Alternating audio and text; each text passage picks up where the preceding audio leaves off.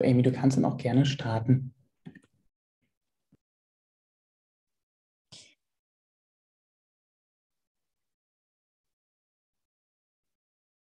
Hallo und herzlich willkommen. Äh, willkommen zu unserer Veranstaltung und jenseits der Werkstätten.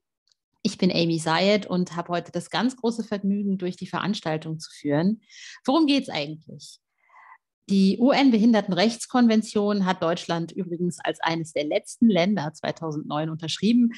Und die fordert die Teilhabe von Menschen mit Behinderungen auf dem allgemeinen Arbeitsmarkt. Unternehmen, die mehr als 20 Beschäftigte haben, sind also hierzulande verpflichtet, fünf Prozent der Stellen mit behinderten Menschen zu besetzen. Aber in der Realität helfen diese Vorgaben relativ wenig. Viele Unternehmen entscheiden sich stattdessen für die sogenannte Ausgleichsabgabe. Das führt am Ende dazu, dass Stand 2019 Menschen mit Behinderungen doppelt so häufig arbeitslos wie Menschen ohne sind.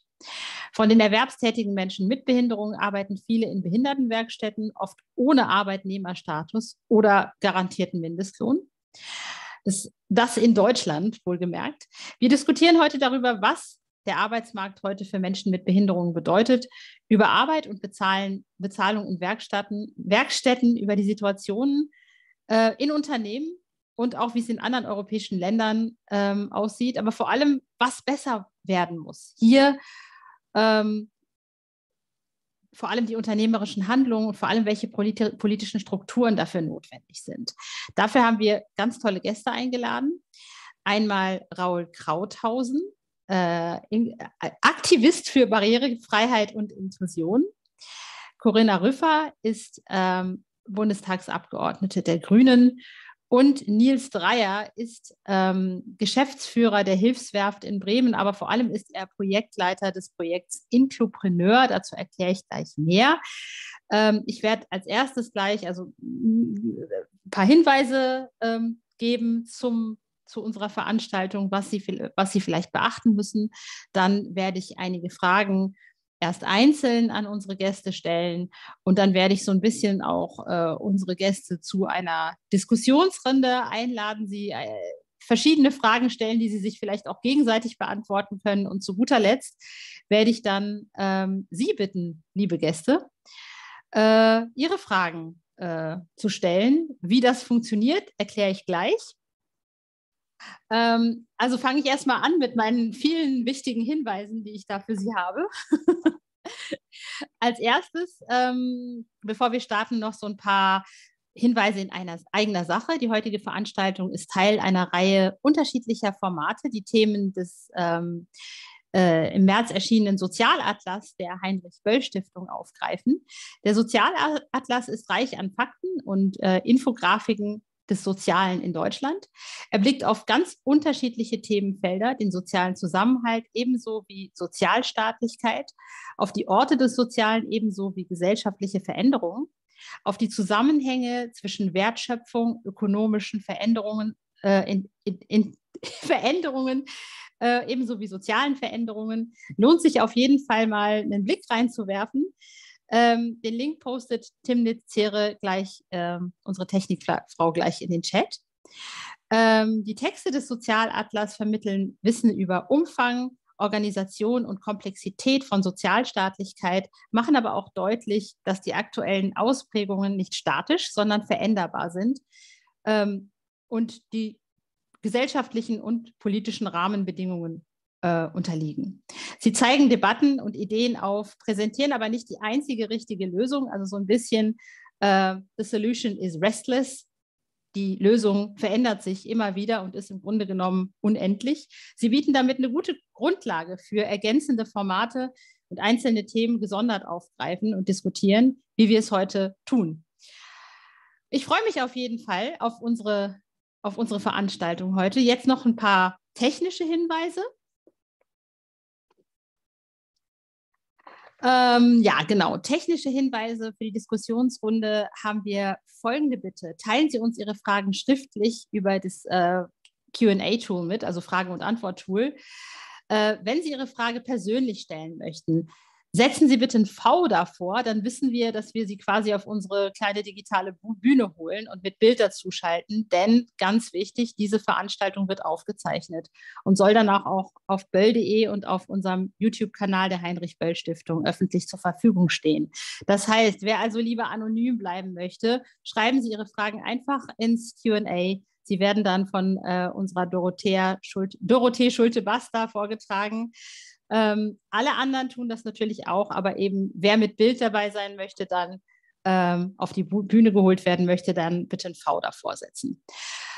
So, gleich können wir loslegen und haben die ganzen Vorbesprechungen und das Vorgeplänkel hinter uns. Ähm, eine ganz kleine Sache noch. Ähm, Sie würden uns einen ganz großen Gefallen tun, wenn Sie sich im Anschluss noch zwei Minuten Zeit für ein Feedback nehmen. Das geht ganz einfach. Sie müssten am Ende nur den Link anklicken, den äh, Tim Lezere im Chat gleich äh, eingeblendet hat und äh, da ein paar kurze Fragen beantworten. So, vielen Dank erstmal und jetzt können wir starten.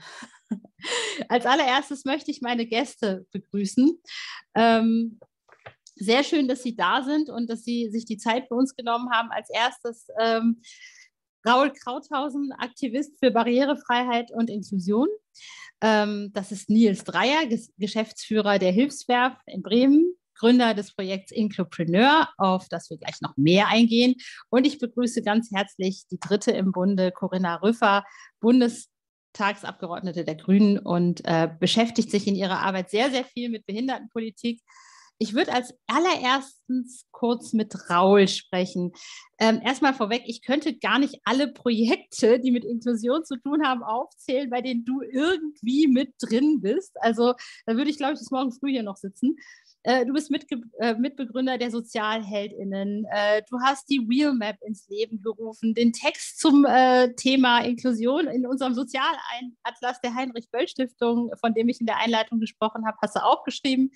Ähm, was aber gerade für heute wichtig ist, du bist Mitbegründer des Projekts Job Inklusive, ähm, wo du ganz bewusst zwischen Unternehmen und ArbeitnehmerInnen oder potenziellen ArbeitnehmerInnen mit Behinderungen vermittelst. Wie schätzt du aus deiner Erfahrung heraus die Situation von Menschen mit Behinderung auf dem ersten Arbeitsmarkt ein? Ähm, also da glaube ich, muss man unterscheiden, reden wir über Menschen mit Behinderungen, die auf dem ersten Arbeitsmarkt bereits sind oder über jene, die es versuchen. Und ähm, es ist sicherlich auf beiden Seiten sehr schwierig, nur die Herausforderungen sind unterschiedlicher Natur. Ähm, wenn wir jetzt über die Menschen äh, mit Behinderungen, die nicht am ersten Arbeitsmarkt äh, sprechen, dann reden wir ja vor allem über jene, die entweder gar keinen Job haben und oder in äh, Werkstätten für behinderte Menschen sitzen und dort in der Regel nicht rauskommen. Ähm, was ich interessant finde, und das ist das, was wir mit dem Projekt Job inklusive seit Anfang an versuchen, ist herauszufinden, wo ist eigentlich das schwarze Loch der Bewerbungen, wo man sich quasi hinbewirbt, wenn es auf der einen Seite von den äh, BewerberInnen heißt, ich schicke hunderte von Bewerbungen, aber werde nie eingeladen. Und auf der anderen Seite Unternehmen des allgemeinen Arbeitsmarktes sagen, ähm, bei uns bewirbt sich niemand. Irgendwo müssen diese Bewerbungen ja landen. Und ähm, wir haben da ein paar Theorien, woran das liegen könnte, dass so etwas passiert. Und ähm, ich habe auch noch ein paar traurige Anekdoten von Arbeitsagenturen und Co. Ähm, aber ich bin zum Beispiel kein Freund davon zu sagen, ähm, die Industrie oder der allgemeine Arbeitsmarkt hat darauf keine Lust, ähm, weil das ist zu einfach. Es gibt noch viele weitere Probleme, zum Beispiel, dass Werkstätten keine intrinsische Motivation haben, behinderte Menschen in den allgemeinen Arbeitsmarkt zu übermitteln oder überführen. Und zweitens, und das ist etwas, woran wir als Organisation auch gerade, ähm, ja, wie soll mal sagen, sehr stark knabbern, ähm, ist die Bürokratie. Und ähm, die ist auch ein riesiges Problem in Deutschland. Ich glaube, man muss, glaube ich, differenzieren zwischen genau, was du halt gerade gemeint hast, ne? die Menschen, die schon auf dem ersten Arbeitsmarkt sind und den Werkstätten. Aber wenn Mensch fertig ist mit Schule, egal ob Förderschule oder inklusive Schule, dann kommt nämlich erstmal der große Crew. Was mache ich jetzt und äh, wo werde ich hingeschoben? Kann ich überhaupt eine Ausbildung machen? Ähm, oder werde ich am Ende vom Integrationsamt dann doch eher oder werde ich nicht genommen, was du auch gerade so schön gesagt hast? Ähm, Bewerbungen, wo landen die überhaupt? Wo siehst du, glaube ich, die Barrieren im, im Alltag? Also sind, sind das, sind, welch, liegt das an den Bildern in den Köpfen, die diese Situation von Menschen mit Behinderung, also die, Mensch, die die Situation von Menschen mit Behinderung äh, am Arbeitsplatz prägen oder ist es die Jobsuche, was das Problem ist? Also wo, wo genau liegt das Problem? Also äh, ja. was, was, wo sind die Barrieren an sich? Also ich habe ähm, die Beobachtung gemacht aus meinem eigenen Leben. Einmal, ich war ja selber mal Schüler. Ähm, ich hatte das Privileg, an einer Regelschule äh, gewesen zu sein, zusammen mit Kindern mit und ohne Behinderung äh, unterrichtet zu werden. Und selbst mir hat man damals in der neunten Klasse im Berufsinformationszentrum äh, gesagt, ähm, ob ich schon mal was von einer Behindertenwerkstatt gehört hätte. Und ähm, ich bin sehr froh, dass meine Eltern von Anfang an mir gesagt haben, lass dir bloß keine Werkstatt einreden, weil ich mich bis heute frage, was eigentlich aus mir geworden wäre, wenn ich diesem Herrn geglaubt hätte, dass die Werkstatt das einzig Richtige für mich ist. Und ähm, das heißt, dieser Mann 50 Jahre alt damals gewesen, wahrscheinlich nicht mehr im Amt, aber ähm, dieser Mann und Menschen wie er äh, ähm, sitzen immer noch in diesen äh, Strukturen und äh, denken oft nicht weiter als von der Wand bis zur Tapete und gehen dann quasi immer eher so den Weg des geringsten Widerstandes für die Struktur. Ähm, der geringste Widerstand, der dann praktisch für behinderte Menschen gleich Werkstatt bedeuten kann. Und ähm, als ich dann später beim Rundfunk gearbeitet habe, ähm, da war es dann so, dass ich nach vier Jahren gekündigt habe, weil ich äh, mich beruflich weiterentwickeln wollte. Und dann kam die Personalabteilung zu mir. Und also ohne Witz, die Personalabteilung hat zu mir gesagt, Herr Krauthausen, Sie haben ja eine Planstelle für Menschen mit Behinderungen.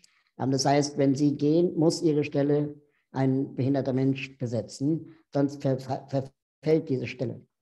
Und ähm, dann haben gesagt, ja gut, ist ja nicht mein Problem. Und dann meinten die, naja, kennen Sie noch jemanden mit Behinderung, der auf Ihre Stelle passt?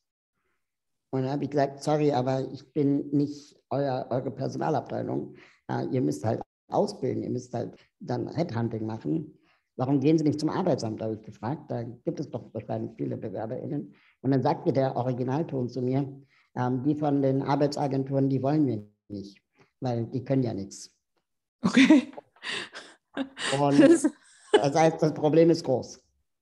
Ja, nee, aber das, das, das, das, das ähm, macht es auch sehr deutlich. Ich meine, ich erinnere mich selber an meine Zeit, als wir äh, an der Regelschule mal zur Berufsberatung waren, was ja alle tun, so mit 16, 17 und alle anderen wurden von tollen BerufsberaterInnen beraten und zu mir kam dann irgendwer und meinte, was wollen Sie denn mal später werden? Und ich meinte dann Journalistin und er schüttelte dann den Kopf, guckte mitleidig und ließ mich stehen. Also von daher, ich kann sehr gut nachvollziehen, was du da sagst und äh, würde daher auch gerne jetzt mal Nils Dreier in die Diskussion mit einbringen. Ähm, wir haben gerade von Raul Krauthausen so ein bisschen was zu der Situation gehört, auch zu den Bildern im Kopf ähm, zu, der, zu der Situation ähm, von Unternehmen, wie die sich das vorstellen. Ähm, du leitest das Projekt Inclupreneur und ähm, da geht es darum, dass sich Unternehmen sozusagen bewerben können, um von euch gecoacht zu werden. Und im Gegenzug müssen sie sich dann bis 2024, naja, jetzt verpflichtend Stellen für Menschen mit Behinderungen äh, zu schaffen oder nicht unbedingt zu schaffen, sondern die mit Menschen mit Behinderung zu besetzen. Ähm, und Sie möchten, oder ihr möchtet es zumindest in, in, in Berlin und in Bremen bis 2024 schaffen. Ich glaube, 100 Stellen sind das, wenn ich, äh, korrigiere mich, wenn ich da jetzt mhm. irgendwie totalen Blödsinn rede. Äh, äh, was sind deine Erfahrungen mit den Unternehmen? Also ist es genauso, wie Raul das gerade erklärt hat? Sind es die Bilder in den Köpfen, äh, die die am meisten vielleicht auch so, vielleicht nicht abschrecken, weil sonst würden sie sich ja nicht bei euch bewerben, aber die sie vielleicht ein bisschen vorsichtiger werden lassen? Oder ist es äh, die Angst vor den damit zusammengehängenden äh, Bürokratiegeschichten, Hilfsmittelbeantragung etc.? Oder ist es einfach das Gesamtbild, alles zusammen mit Senf? Da kommt irgendwie ein Mensch mit Behinderung, ich habe keinen Berührungspunkt, ich weiß nicht, wie ich mit dem umgehen soll. Was ist es denn? Es ist erstmal vielschichtig natürlich. Ähm, wir haben ja eine spezifische Zielgruppe. Wir sprechen ja eher jüngere Organisationen an, also sogenannte Startups und Grown-ups, also Firmen, die schon im, im Wachstum sich befinden. Ähm, und dort haben wir tatsächlich eher die Situation, dass das Thema Inklusion behinderter Menschen für die ein blinder Fleck ist. Das heißt, die sind schnell gewachsen und expandiert und mussten natürlich erstmal ein Geschäftsmodell entwickeln, um überhaupt finanziell bestehen zu können. Ähm, und wenn dann nicht der Zufall das so wollte, dass jemand aus im, im, persönlichen Umfeld, in der Familie, im Freundeskreis Menschen mit Behinderung kennt oder äh, ein Familienmitglied hat, dann haben wir teilweise Situationen, dass wir mit PersonalreferentInnen, Personalleitungen sprechen von Firmen mit 200 Mitarbeitern, die noch nie einem Menschen mit Behinderung gegenübergesessen haben. So, nicht aus bösem Willen und aus böser Absicht, sondern weil es ein blinder Fleck ist. So, und ähm, diese von dir am Anfang beschriebene Logik der Ausgleichsabgabe führt halt dazu, dass das gewünschte Verhalten, was wir eigentlich wollen, nämlich dass die UN-Behindertenkonvention eingehalten wird mit dieser 5-Prozent-Quote, ähm, durch diesen Sanktionsmechanismus bepreist wird. Und dadurch, dass es einen Preis hat, kann man halt kalkulieren, dass es sich gegebenenfalls nicht lohnt, weil es ja einfacher ist, Geld zu zahlen. Weil Geld zahlen wissen die Unternehmen, die können einfach in ihrer Budgetplanung sagen, okay, hier die fünf unbesetzten Pflichtarbeitsplätze kosten uns 7000 Euro, müssen wir uns mit der Thematik nicht auseinandersetzen. So, das ist sozusagen der eine, der eine Perspektive. Das andere ist die, dass wir auch lernen im, in der Projektumsetzung, dass ehrlicherweise die Organisationen oder Institutionen, die dafür verantwortlich sind, Menschen mit Behinderungen in Arbeit zu bringen, also die Agentur für Arbeit wurde ja schon genannt, die Inklusionsintegrationsämter, teilweise auch die Integrationsfachdienste, die sprechen überhaupt nicht die gleiche Sprache der Startup-Firmen. Das heißt, selbst Firmen, die das wollen, ähm, die, die verstehen sich quasi nicht mit diesen Strukturen. Und die können diese bürokratischen Prozesse, von denen Raul äh, schon sprach, die sind einfach nicht mental in der Lage dazu, das zu bestehen. Und äh, wir bieten dann quasi eine Art Übersetzungsleistung an, um zwischen den Systemen zu vermitteln, ähm, mit großem Erfolg bisher. Und ähm, ich sehe halt in der Startup-Szene insbesondere eine große Offenheit für das Thema Diversität allgemein, also das Berlin sind ja, wir haben Firmen dabei, da ist Englisch die, die Firmensprache. Ne? Die haben international aufgestellte Teams. Wir haben Firmen, die haben gar keine Büros mehr, die arbeiten 100 Prozent im Homeoffice. Das heißt, Diversität ist für die ein hoher Wert und Vielfalt wollen die auch, äh, wollen die auch ähm, schaffen innerhalb ihrer Mitarbeiterschaft. Nur dadurch, dass das Thema Inklusion behinderter Menschen ein blinder Fleck ist, man weiß ja nicht, dass man einen blinden Fleck hat, bevor man darauf hingewiesen wird. Das heißt, es war keine böse Absicht, ähm, aber wir zeigen denen jetzt halt auf, da ist noch mehr und da ist auch ein Potenzial an, an Talenten, ähm, was bisher ungenutzt ist und was zu beidseitigen ähm, ja, Nutzen und ja, so, sozial, mehr sozialen Zusammenhalt gehoben werden kann. Und ja, daran arbeiten wir. Woran liegt es, dass dieser blinde Fleck existiert, um jetzt mal bei, deiner, bei deinem Beispiel zu bleiben? Also was ist, was ist das Problem? Naja, ich habe es, glaube ich, am Anfang schon ausgeführt. Entweder man hat durch Zufall keine Kontakte zu Menschen mit Behinderung in seinem Umfeld oder, oder bei der Arbeit selbst. Ähm, oder durch, durch diesen Mechanismus der Ausgleichsabgabe, dass es eben einfacher ist, dass, äh, diese Kröte zu schlucken im Sinne von, wir zahlen ein paar Euros und dann müssen wir uns mit der Thematik nicht auseinandersetzen. Wenn wir jetzt, eine, wenn wir jetzt ein einklagbares Recht hätten, ähm, wo wir wo, wo Unternehmen nicht wüssten, was die Kosten wären, wenn sie es nicht machen, weil es vielleicht über ein Gerichtsverfahren entschieden wird oder auch abhängig ist von der Unternehmensgröße oder, oder dem finanziellen Kraft der Unternehmen, dann würde das, glaube ich, anders liegen. Also im Endeffekt ist es eine Mischung aus falsche Motivation, falsche Incentives. Ähm, und äh, die noch nicht vollständig gelebte Inklusion in der Gesellschaft insgesamt. Und ich bin ja nur aus Bremen. Wir sind ja zumindest was das Schulsystem und die Impfquote betrifft, bundesweit auch mal ganz gut. Ähm, und aber das, das trägt sich halt nicht durch die Gesamtgesellschaft. Ne? Und äh, auch wenn du das, wenn, wenn, wenn, wenn die, äh, wenn inklusive Schulsysteme. Das dauert ja ein paar Jahre, bis diese Veränderung dann auch am Arbeitsmarkt angekommen ist. Ähm, genau, also da, da ist dann teilweise die Arbeitswelt einfach auch nur ein Spiegelbild von unserer Gesellschaft. So, und, Natürlich dann auch da, spannend, ne?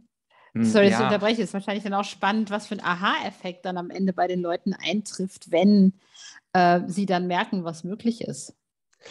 Absolut. Also das ist dann, glaube ich, auch so ein bisschen so diese Geschichte, dass die Behinderung wie so eine Art Schleier über den Menschen liegt und man erstmal nur diesen Schleier sieht und dass es aber darum geht, diesen Schleier abzulegen oder hinter den Schleier zu blicken und die Kompetenzen und Fähigkeiten zu erkennen. So, Mhm. und, ähm, und das ist genau dieser Aha-Moment, den wir ja auch als Bestandteil unseres Projektes, das zu erzeugen und die Unternehmen jetzt mal positiv gesagt zu verstören, ähm, ist einfach ein wichtiger Bestandteil. Und äh, du bist ja selbst auch Bestandteil dieses Projektes als, als Mentorin, die, äh, die uns dabei hilft, auch diese Perspektivenvielfalt einfach aufzumachen, weil, weil es halt nicht dieses eine prototypische Bild vom Mann im Rollstuhl, was vielleicht durch die Medien bei vielen Menschen erzeugt wurde, das ist halt nicht repräsentativ, sondern das ist ja, die, die, wir haben ja quasi eine komplette Spiegelbild der Gesellschaft nochmal innerhalb der Gruppe der Menschen mit Behinderung. Da gibt es ja alles. So.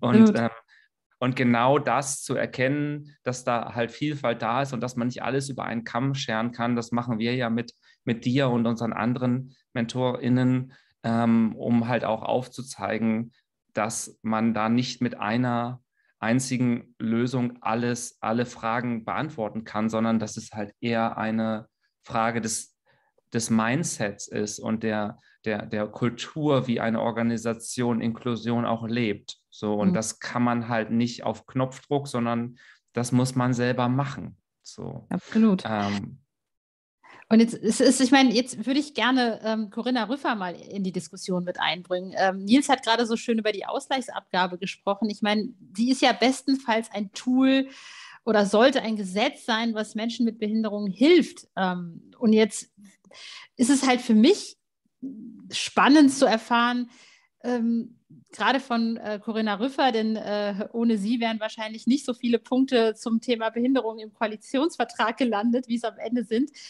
was kann oder soll Politik besser machen? Ich meine, äh, ganz konkret Ausgleichsabgabe, soll man die erhöhen? Soll man da was, was, was kann man damit machen? Sollte man vielleicht unsere Gesetzgebung auf Menschen mit Behinderung, die ja schon in vieler Hinsicht manchmal doch schon ein bisschen veraltet ist, finde ich zumindest, kann man da was dran drehen, was ändern? Was, würde, was würdest du in deiner Idealwelt so wollen? In meinem idealen äh, Bundestag meinst du? Genau. Ich, das sind, ähm, das sind äh, zwei, zwei unterschiedliche Ebenen, die ich, ähm, die ich bearbeiten würde. Ähm, also zum einen, ich glaube, wenn man sich diesen aktuellen Koalitionsvertrag anschaut, dann stellt man fest, da ist schon relativ viel vergleichsweise zu ähm, Inklusionsthemen drin. Jetzt, wenn man aber die Themen gegenüberstellt, sieht man beim Thema Barrierefreiheit ist da mehr Gehaltvolles drin als beim Thema Arbeitsmarkt. Ne? So, also bei Barrierefreiheit sind die Gesetze benannt. Es ist benannt, äh, dass äh, die Privaten verpflichtet werden ähm, sollen, ähm, ähm, sich barrierefrei weiterzuentwickeln. Da haben wir genaue Vorstellungen. Beim Arbeitsmarkt äh, ist da weniger. Also das kann man kritisch äh, sehen. Ne? Aber es sind so ein paar Punkte dran, die durchaus wichtig sind. Das ist einmal diese vierte Stufe der Ausgleichsabgabe, die eingeführt werden soll. Und wer sich fragt, was sich dahinter verbirgt, es gibt einen total erheblichen Teil, das sind ungefähr 25 Prozent ähm, Unternehmen, die eigentlich beschäftigungspflichtig wären. Das heißt, die haben über 20 Mitarbeiterinnen und, liegen unter, ne, also, und werden verpflichtet, mindestens 5 Prozent schwerbehinderte Beschäftigte einzustellen. Die tun das aber gar nicht, also gar nicht, null. Die haben null Beschäftigte mit Schwerbehinderung in ihren eigenen Reihen. Das sind 25 Prozent aller Unternehmen. Das ist also ein Riesenbatzen, ja. Wow. So, und also es ist ein Riesenbatzen. Und für die sagen wir, wollen wir eine vierte Stufe der Ausgleichsabgabe einführen, die dann auch Unternehmen spüren. Weil im Moment, das wird ja hier auch angedeutet, ist das so ein bisschen etwas, was man aus der Portokasse bezahlen kann. Da kann man sagen, wir machen uns die Mühe nicht, bezahlen wir halt ein bisschen Kohle in die Ausgleichsabgabe, vergeben dann noch ein paar Aufträge an Werkstätten für behinderte Menschen und dann sind wir irgendwie fein raus. Und das kann es ja nicht sein. Ne? So, also deswegen ist diese vierte Stufe ähm, ein wichtiger Punkt. Dann sind da so andere Sachen drin, wie zum Beispiel eine Genehmigungsfiktion bei den, ähm, äh, bei den Integrationsämtern, ne, die ja für die Arbeitsplatzausstattung ähm, zuständig sind, unter anderem, was so ein ganz wichtiger Bereich ist. Und mh, hm, da gibt es wenig Personal, keine Ahnung, wenig Incentives, wie du gesagt hast, Nils. Ähm, äh, sozusagen da, da schnell hm, die beantragten Leistungen auch zu genehmigen. Da sagt jetzt dieser Koalitionsvertrag, wenn das innerhalb von sechs Wochen nicht passiert, dann gilt der vollständig eingereichte Antrag als genehmigt. Das könnte schon mal ein bisschen weiterhelfen. Ne? Das sind Großartig. so ganz ja. ja, das sind, ähm, ich finde das auch großartig, aber wenn man es insgesamt betrachtet, muss man immer noch sagen, ähm, dass das noch nicht die Game Changer sind. Ja, also da sind äh, Sachen drin, wie ähm, das Budget für Arbeit ähm, entbürokratisieren. Das heißt also, dass Leute, die bisher in Werkstätten gearbeitet haben, quasi mit einem Rucksack voll Geld zu Arbeitgebern gehen können, vereinfacht gesagt, und sagen, das, was bisher in die Werkstatt geflossen ist, das bekommst du als Arbeitgeberin ähm, quasi als Nachteilsausgleich dauerhaft, damit ich äh, die Möglichkeit habe, sozialversicherungspflichtig beschäftigt zu werden. So, das ist ähm, immer noch relativ bürokratisch. Es gibt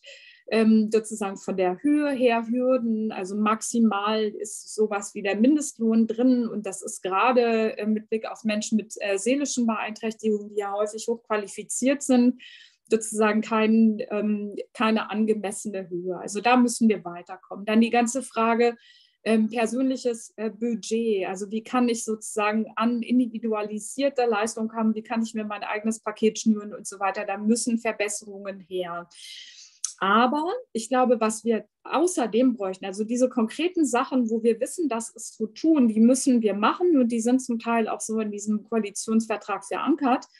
Aber wenn wir uns die riesengroße Frage stellen, wie wollen wir einen inklusiven Arbeitsmarkt gestalten? Wie können wir die Widerstände brechen, die es da gibt? Und also ich bin sicher, dass heute einige Leute ähm, zuhören, die nicht unbedingt so begeistert davon sind, wenn wir kritische Töne gegenüber Werkstätten anschlagen. Ne? Es sind häufig Werkstattmitarbeitende, Leute, die in Werkstatträten sind und so weiter, die ein Stück weit Angst haben, dass ihnen quasi ihre Sicherheit entzogen äh, wird, ja, die wir mit ins Boot ähm, holen müssen, vor allen Dingen die betroffenen Menschen, um dann zu entscheiden, wie können wir diese ganzen Sondersysteme eigentlich weiterentwickeln und hinkommen zu einem inklusiven Arbeitsmarkt, der einerseits Menschen nicht krank macht, ja, und andererseits dann eben ausgesondert ähm, ähm, belässt und äh, sozusagen Rückwege in den allgemeinen Arbeitsmarkt versperrt. Und ich glaube, dafür brauchen wir einen ganz, ganz ähm, ernsthaften äh, Prozess, in den alle Beteiligten auch mit einbezogen werden. Das würde ich mir wünschen, wenn ich den idealen Bundestag vor mir hätte. Und ich hoffe immer noch, dass wir das durchsetzen können in Form einer Enquete-Kommission, die dann aber auch zu konkreten Ergebnissen kommen muss am Ende. Meine, du, hast, du hast es sehr, sehr schön äh, auch erklärt, was, was natürlich auch so ein bisschen die Gesetzgebung ein bisschen verändern würde, weil es ist viel in der Gesetzgebung, was immer noch so voraussetzt, behinderte Menschen können wenig. Also alleine die Tatsache, dass ein Unternehmen mehr, also dass, dass die Hälfte des Gehalts bezahlt bekommen kann, weil ja der Mensch mit Behinderung weniger kann. Und dann kann er auch noch irgendwie so eine Extraleistung bekommen. Da muss man dann einen Antrag ausfüllen, was, da muss der Behinderte sogar selber irgendwie schreiben, was er alles nicht kann, damit sein Arbeitgeber oder seine Arbeitgeberin am Ende das Geld bekommt. Und wo ich mich dann frage, warum muss ich mich da eigentlich so erniedrigen? Also warum muss ich so tun, ob, als ob ich nicht gut genug wäre für diesen Job. Sonst hätte ich ja nicht bekommen. Und ähm, ich glaube, da, da, was du da gerade ansprichst, ist total wichtig und auch richtig für, ähm, für das Verständnis ähm, von Inklusion auf dem, auf, dem, auf dem Arbeitsmarkt, auf dem ersten Arbeitsmarkt. Was mich direkt jetzt zum Thema Werkstätten führt, du hast es ja schon ein bisschen angesprochen. Was, und ich würde jetzt gerne so die Runde ein bisschen öffnen. Also das geht jetzt nicht nur an Corinna, sondern auch gerne an, an, an euch andere, also an äh, Raul und an Nils. Warum spielen Werkstätten hierzulande überhaupt diese riesige Rolle und warum gibt es den Aufschrei eigentlich erst jetzt? Also jetzt mal ganz ehrlich, das ist das, das sind Arbeitsbedingungen, wo Menschen eigentlich teilweise keinen, noch nicht mal ihren Mindestlohn verdienen Sie haben keinen Arbeitnehmerstatus, Sie sind als Therapiemaßnahme angesiedelt. Warum kommt der Aufschrei eigentlich erst jetzt? Also wie, wie, wie funktioniert das in einem Land wie Deutschland? Das ist mir bis heute ein Rätsel. Bitte erklär mir das jemand. Wer, wer fängt an zu erklären hier? Ich, ich, ich, wir haben ich, alle, alle was zu sagen. Ich, ich frage frag erst mal Raul. Als erstes frage ich mal Raul. Der weiß immer. Ich habe es befürchtet. ähm, also ich, ich kann mir, ich bin jetzt kein Historiker, ich habe mir die Sachen jetzt äh, auch natürlich nur selbst angeeignet und selbst erarbeitet. Ähm, durch das Lesen äh, von Literatur, PolitikerInnen äh, mich unterhalten und äh, auch mit Beschäftigten äh, in dem Bereich. Und ich mache schon die Beobachtung, dass in den letzten Jahrzehnten behinderte Menschen einfach systematisch aussortiert wurden und werden, ähm, wo es einfach schon auch ähm, eher darum geht, äh, die sogenannten Wohlfahrtsstrukturen, Heibe, Werkstätten, äh, Förderschulen und so weiter ähm, ausgelastet zu wissen, anstatt sich irgendwann äh, gesellschaftlich die Frage zu stellen, wie behinderte Menschen auch in ja, in, in, der Mitte der Gesellschaft äh, auch stattfinden können. Und wir argumentieren das ganz gerne dann immer mit dem Schutz der Beschäftigten oder der Betroffenen. Und ähm, da, da, irgendwie in der Werkstatt, da werden sie geschont, da werden sie nicht überfordert, äh, da sind sie unter ihresgleichen und so weiter und so fort. Und diese Schutzargumente werden eigentlich benutzt, um die Mehrheitsgesellschaft davor zu schützen, sich strukturell Veränderungen äh, ähm, ja, auch zu überlegen ähm, und auch strukturelle Veränderungen zu machen. Und ähm, weil wenn wir wirklich uns darum sorgen würden als Gesellschaft, wie es Beschäftigten in Werkstätten, ähm, BewohnerInnen in Behinderteneinrichtungen und so weiter geht, dann würden wir viel mehr auf die Missstände auch ähm, aufklären und auch viel mehr darüber wissen als Gesellschaft. Das heißt, wir verschieben die Verantwortung äh, und, und die Problematik eigentlich weg in Einrichtungen. Und ähm, in diesen Einrichtungen wird dann sehr oft damit argumentiert und auch gerade, wie auch Corinna Ritter schon gesagt hat, ähm, damit argumentiert, dass äh, ähm, also erstmal wird Angst gemacht vor uns, AktivistInnen oder Menschen, die es hinterfragen, äh, von wegen, wir wollen, dass äh, die Beschäftigten in Werkstätten morgen arbeitslos sind. Das haben wir nie gefordert. Keiner aus der Behindertenbewegung fordert, dass wir die Werkstätten ab sofort schließen ähm, und morgen alle auf der Straße landen. Das hat niemand von uns gefordert. Das Einzige, was wir fordern, ist, dass diese Werkstätten nicht größer werden dürfen, sondern kleiner werden müssen. Und zwar von Jahr zu Jahr.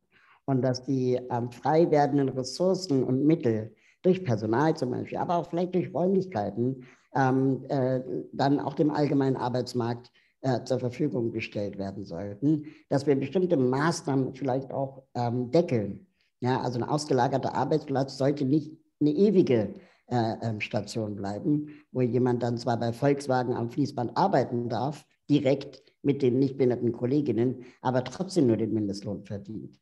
Ähm, das ist ein Problem und diese Ausbeutung ähm, muss einfach äh, unterbunden werden und sein und auch nur da kann der Gesetzgeber ran. Ich bin, muss ich ehrlich sagen, auch schwer enttäuscht von der SPD in der Hinsicht, die ein großer Verhinderer in von den angesprochenen Vorhaben äh, von Frau Rüffer ist, äh, weil einfach, ja, vielleicht auch in Form von Ulla Schmidt, die ja sowohl in der SPD sitzt als auch äh, in den äh, Chefetagen von der Lebenshilfe, ähm, da vielleicht auch andere Interessen existieren als wirklich die Interessen der Menschen mit Behinderung.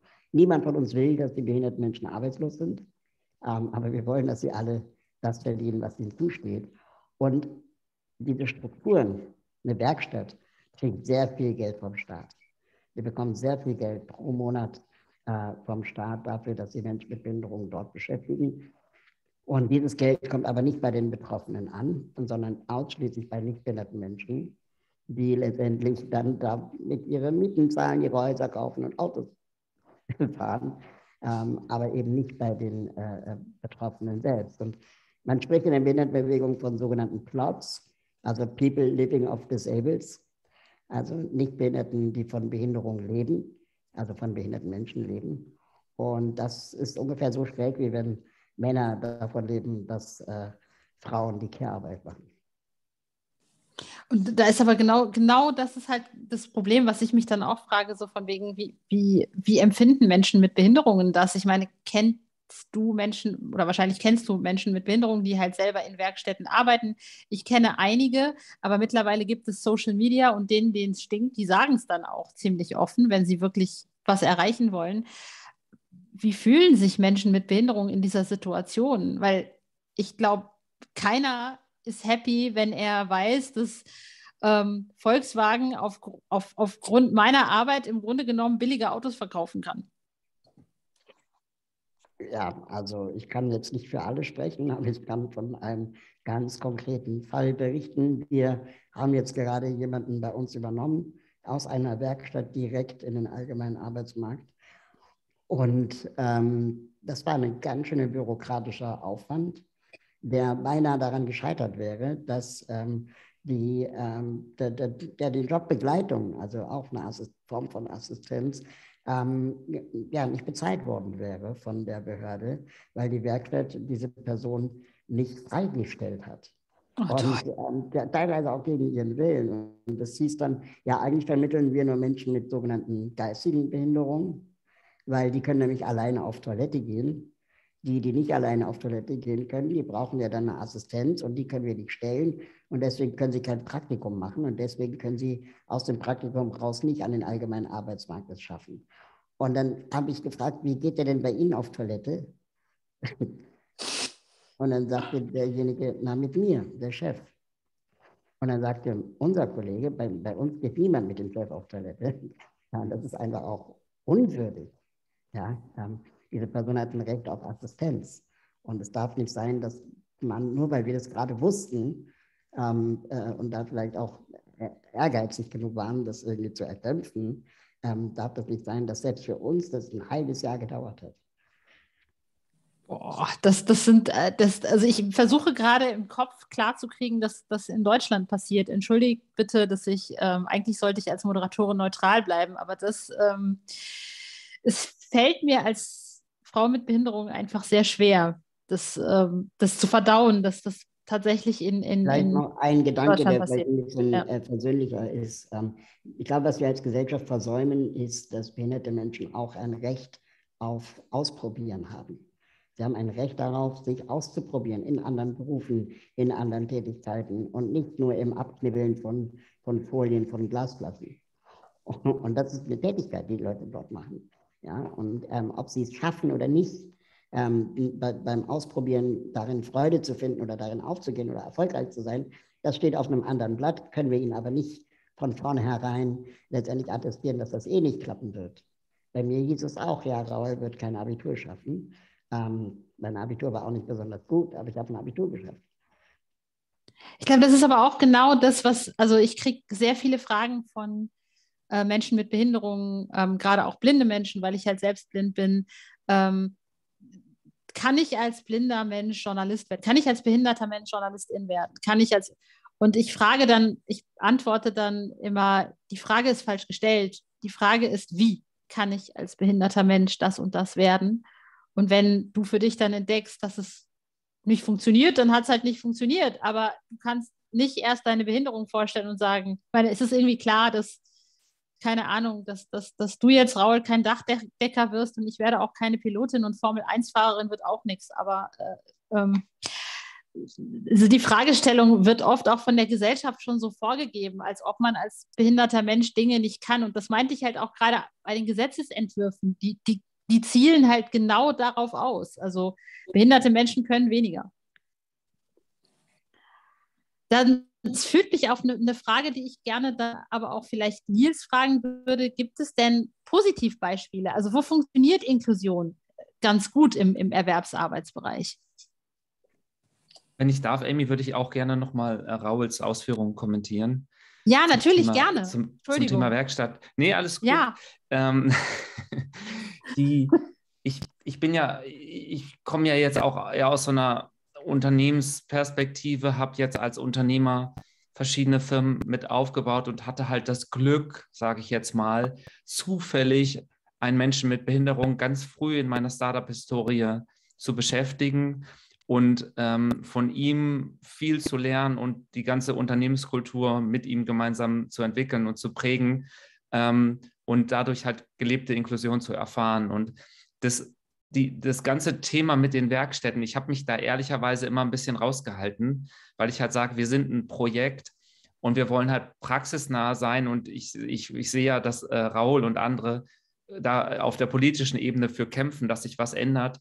Ich habe natürlich jetzt auch ein paar Berührungspunkte gehabt und mein, also vom Grundsatz ist natürlich immer so, jedes System reproduziert sich selbst. So, das heißt, äh, das, das heißt, wir werden ja auch das Steuersystem in Deutschland nie so richtig reformieren können, weil halt einfach zu viele Leute als SteuerberaterInnen davon leben, dass es so ist, wie es ist. Und unsere Finanzämter haben zigtausende von, also es ist schwierig, bestehende Systeme äh, komplett neu zu denken. So, deshalb frage ich mich immer, wie kommt man von so einer von weg Motivation zu einer hinzu Motivation?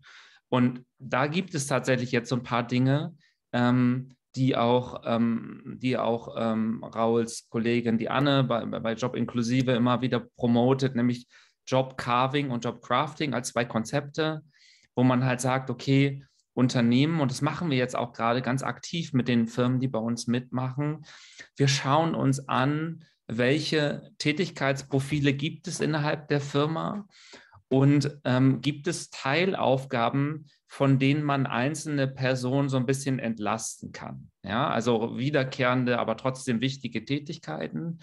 Ähm, und dann schnitzen wir sozusagen aus diesen Tätigkeiten, die dann eben nicht ein Studium, zehn Jahre Auslandserfahrung und äh, drei Fremdsprachen und was auch immer, was die, was die Leute halt sich gerne immer wünschen von allen BewerberInnen, dass die, dass die alles können, sondern dass wir Profile machen von auch für Menschen, die aktuell in Werkstätten beschäftigt sind, damit wir auch und da kommen wir wieder zu diesem Problem, dass das System sich selbst reproduziert. Wir brauchen Erfolgsgeschichten, unter anderem auch für die Eltern der Jugendlichen oder der Menschen, die in diesen Werkstätten sind, die, die halt auch sagen, Mensch, wenn mein, mein Kind jetzt noch x Jahre durchhält, hat es einen Rentenanspruch und äh, da, da, müssen wir ja nicht mehr für die aufkommen. Also das, das ist jetzt Klammer, das ist jetzt vielleicht ein bisschen überzogen, aber die, die, die, die, die Motivation ist manchmal falsch. Und es gibt zu wenig gute Erfolgsgeschichten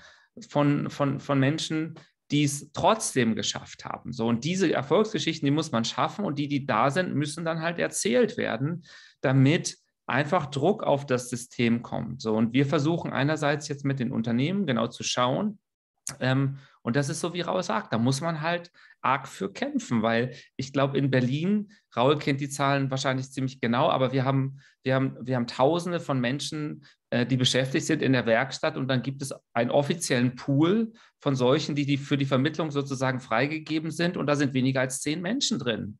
Das kann ja nicht sein. Also es kann ja nicht sein, dass von mehreren tausend Menschen nur zehn in der Lage sind, an der freien Wirtschaft zu arbeiten. So. Und wir haben jetzt tatsächlich genau jetzt bei, keine Ahnung, Kammerkollektiv, ein junges Startup, die sehr innovativ in, äh, in Tee, Kaffee und Gewürze machen.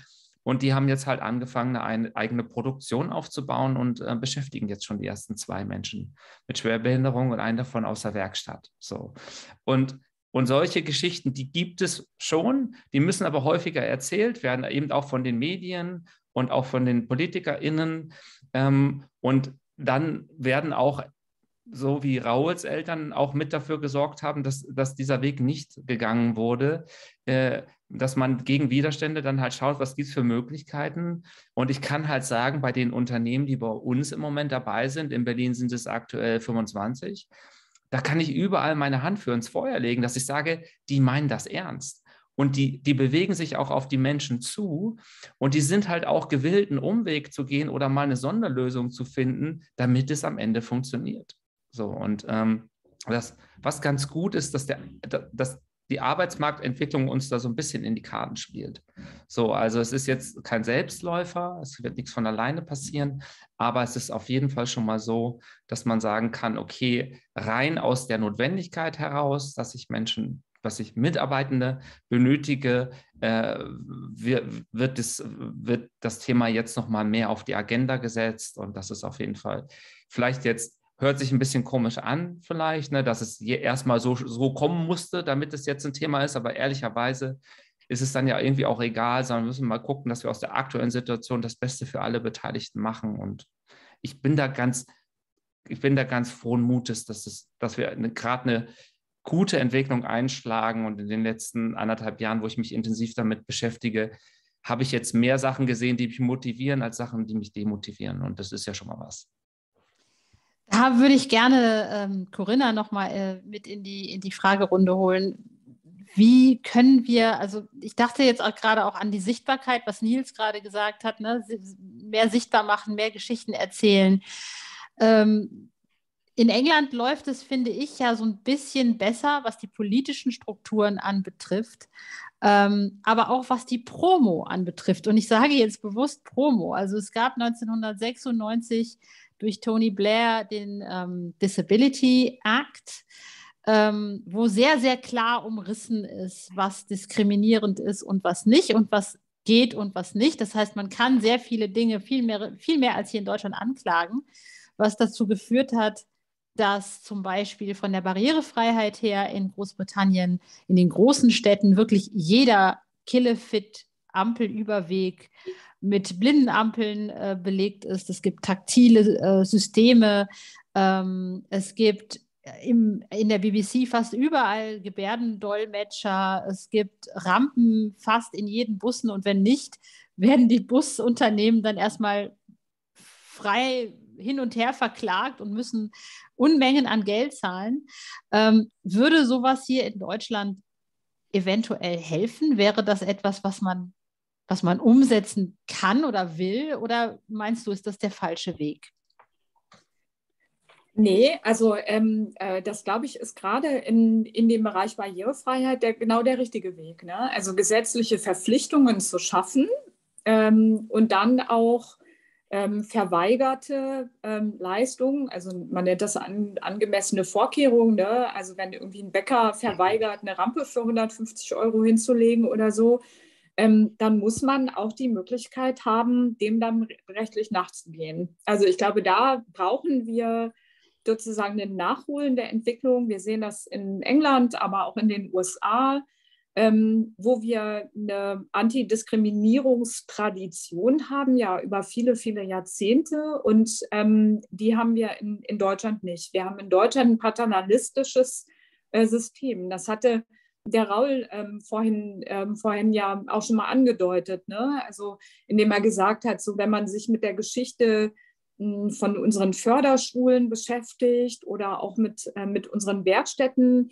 beschäftigt, dann wird man sehen, dass wir immer versucht haben, äh, Menschen weg äh, zu organisieren und eben nicht in die Mitte unserer Gesellschaft zu holen und ähm, eben diese Gesellschaft von den Strukturen her so zu gestalten. Und das ist der Sinn von Inklusion. Ähm, Strukturen ist ein Strukturprinzip, Inklusion. Ne? Die Strukturen müssen so sein, dass sie für alle funktionieren. Und wenn sie das nicht tun, dann muss ich als Betroffener auch die Möglichkeit haben, mich dagegen zu wehren.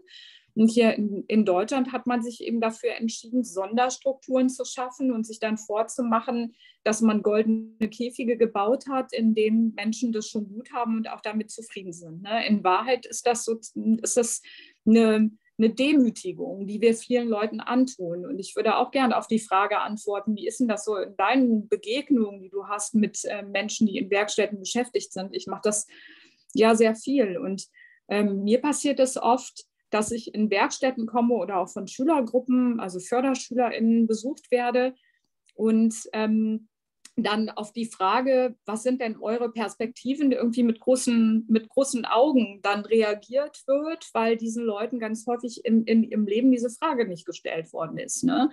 Und nun haben, also ich habe einen Mitbewohner, der auch blind ist und also der ist Jurist und der leitet eine Abteilung bei einem Finanzamt und so weiter. Ne? Aber nun hat der irgendwie zwei akademisch gebildete Eltern, für die von vornherein klar war, dass sie es nicht zulassen würden, den Sohn sozusagen in, auf eine Förderschule gehen zu lassen, sondern die haben ständig dafür gekämpft, dass das eben klappt, ne, mit, dem, mit dem Abitur etc. Aber ganz viele Menschen mit Behinderung und auch solche, die als behindert gelabelt werden, die haben solche starken Elternhäuser eben nicht. Ja, und da so, und äh, da werden solche Wege nicht aufgezeichnet. Viele versuchen zu kämpfen, manche geraten sogar in Konflikt mit dem Staat, mit den Jugendämtern, die im Zweifelsfall dann vielleicht sagen, wenn ihr dagegen kämpft, dass euer Kind irgendwie auf eine Förderschule geht, so geschehen in Rheinland-Pfalz vor nicht allzu langer Zeit, dann entziehen wir euch das Sorgerecht, um eben diesen Förderschulbesuch dann im Zweifelsfall auch durchzusetzen. Und das sind Fälle, die immer wieder auftauchen. Das heißt also,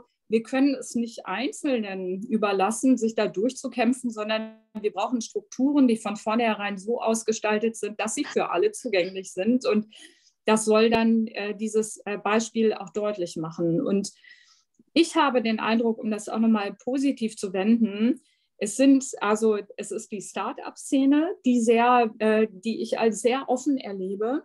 Aber es sind auch viele ArbeitgeberInnen darüber hinaus, die nicht zuletzt, weil sie ähm, äh, sozusagen auf der Suche nach äh, geeigneten äh, Kräften für ihre Unternehmen sind. Ja, also die Lage auf dem Arbeitsmarkt ist sozusagen umgekehrt prekär, als das vielleicht in den 90er Jahren gewesen ist. Und man muss irgendwie kreativ sein, um Produktion, Dienstleistungen und so weiter am Markt auch zu halten. Deswegen gibt es durchaus eine große Offenheit.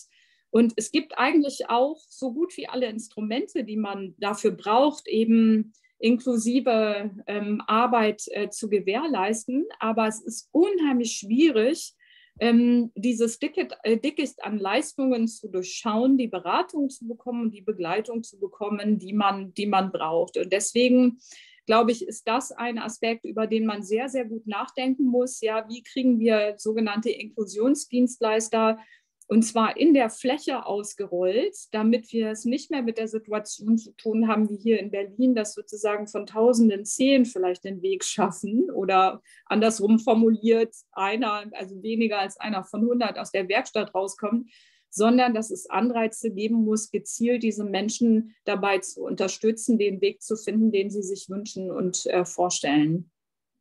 Also was, was für mich jetzt auch aus der Diskussion ein bisschen hervorgeht, es geht einer einerseits natürlich die, die, die, die Unternehmen, die vielleicht lernen müssen, mit Inklusion umzugehen und Inklusion auch zu leben.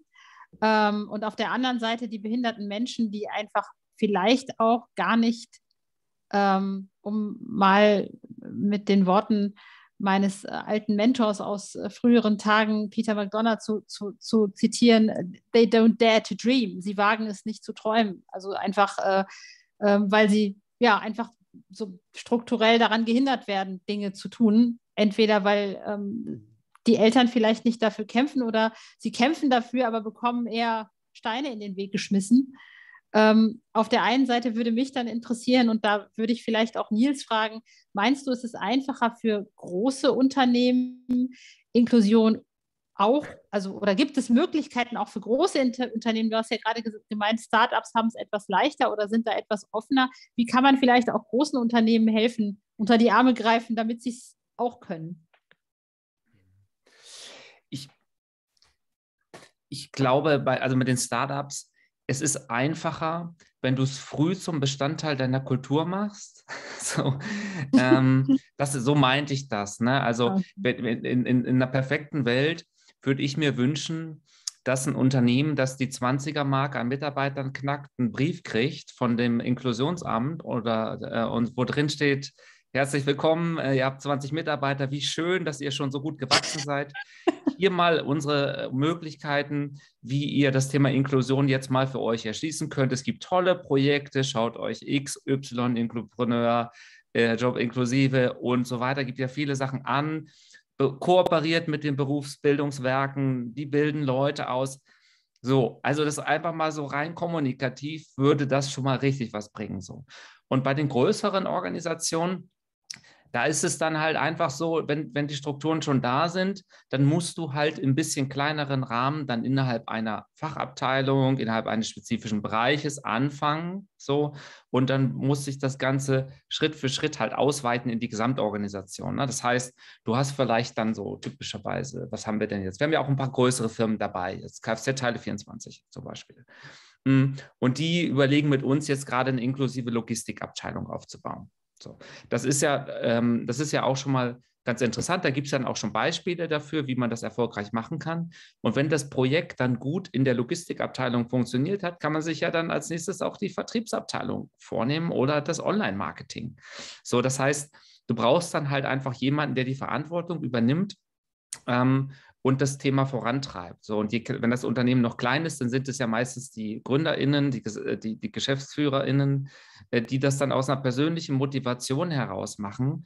Und ich, ich habe, also meine Hoffnung so insgesamt, wenn ich auf die Wirtschaftswelt gucke, ich bin ja jetzt Leit, Projektleiter von Inclupreneur und in der Hilfswerft machen wir ja Social Entrepreneurship, also wirkungsorientiertes Unternehmertum. Und ich habe sowieso den Glaubenssatz, dass es langfristig nur noch Unternehmen geben wird, die neben einem erfolgreichen Geschäftsmodell, mit dem sie Geld verdienen, zusätzlich noch ein Wirkmodell haben, mit dem sie sozial, ökologisch, gesellschaftlichen Nutzen stiften.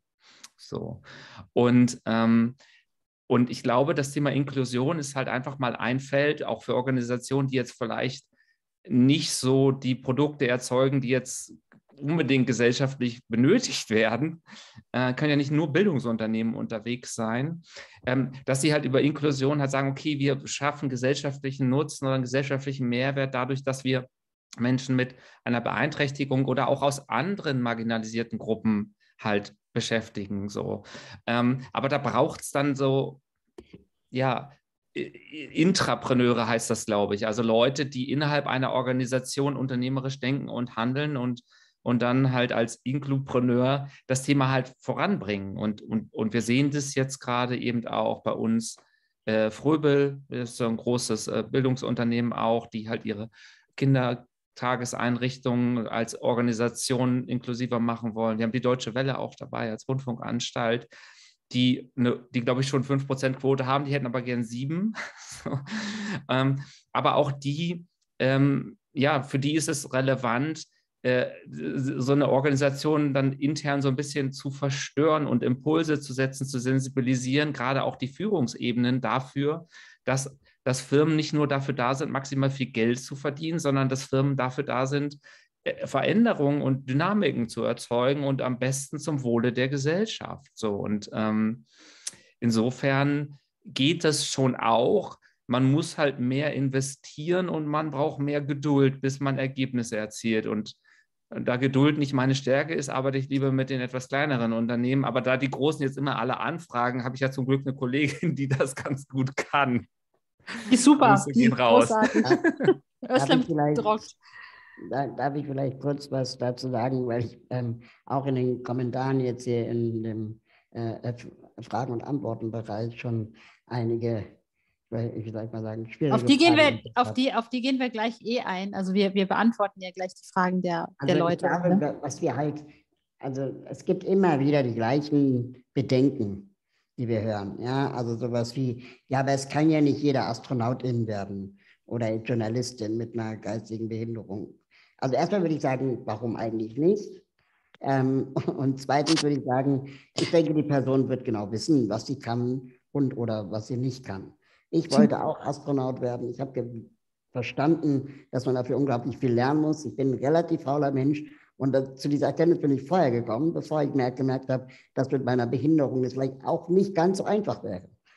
ja, das heißt, Moment, gibt es übrigens eine Organisation, die versucht, das heißt, äh, Space, genau, äh, genau.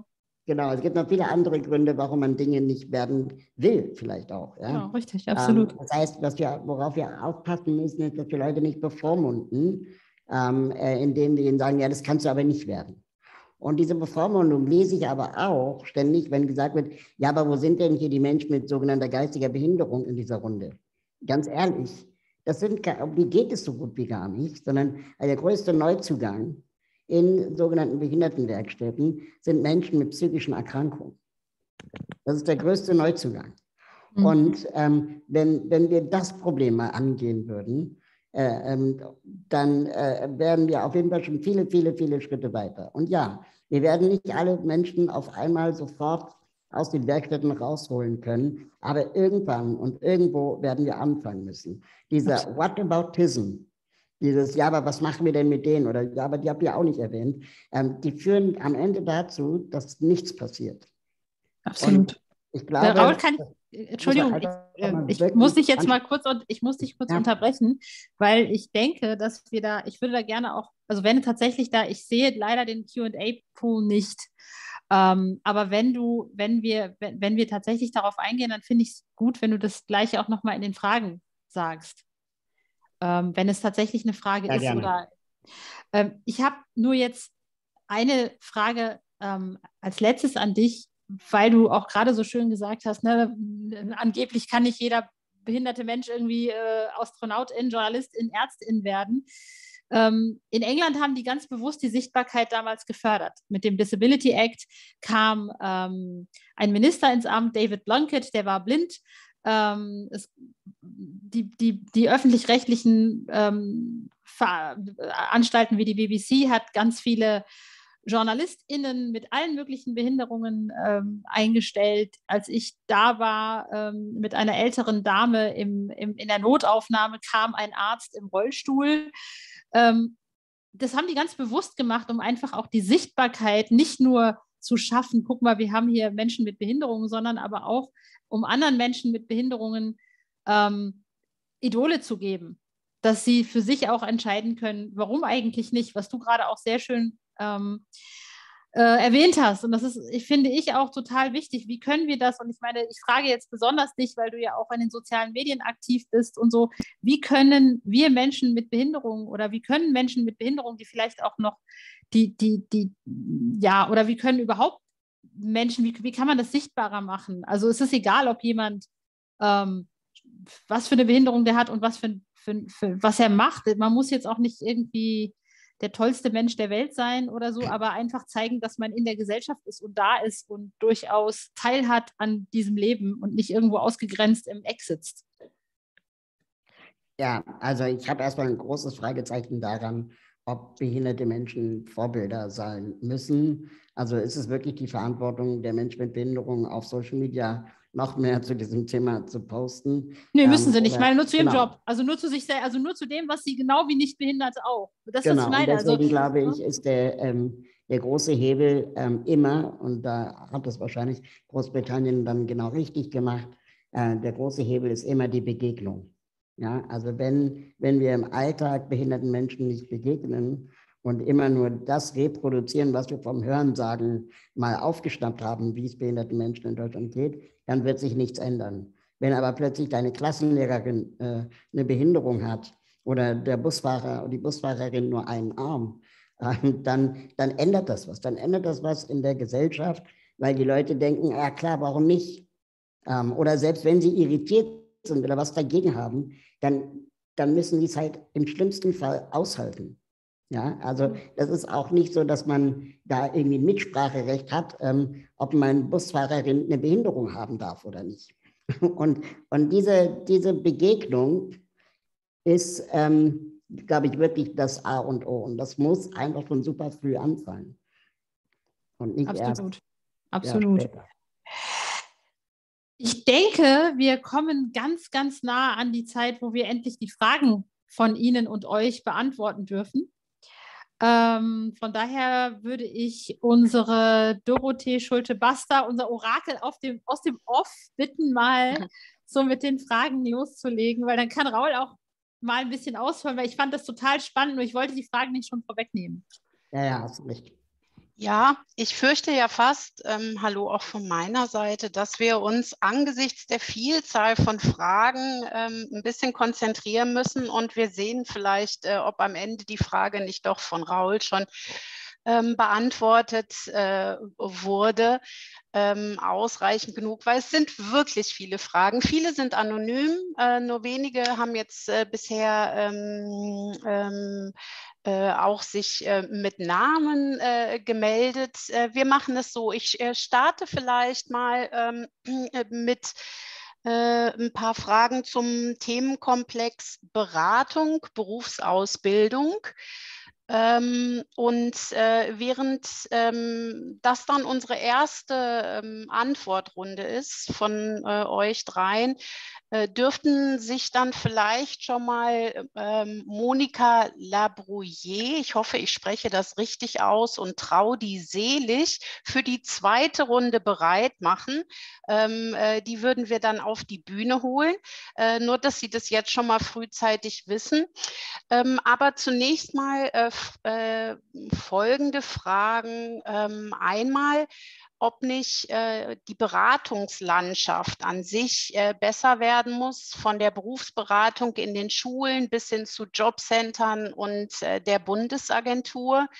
Ähm, zum Beispiel äh, Frauen und Mädchen mit Behinderungen auch hier müssen das Gefühl haben, dass ihnen die Berufswelt offen steht. Gleichzeitig braucht es auch niedrigschwellige Angebote für Unternehmen, die mit äh, Vorurteilen aufräumt, dass die Beschäftigung von Menschen mit Behinderung zu kompliziert wird. Also diese niedrigschwellige Beratungsleistung auf beiden Seiten.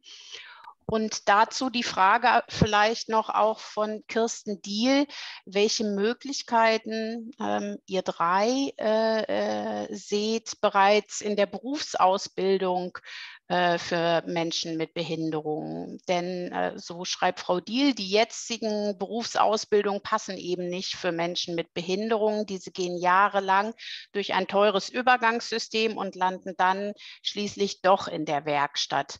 Sie, das vielleicht noch als Kommentar, findet den Ansatz von Nils äh, gut, Berufsprofile zu analysieren.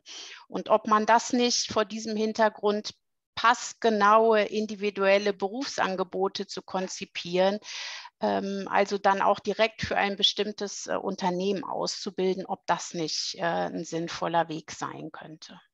So viel vielleicht an dieser Stelle als erste Runde.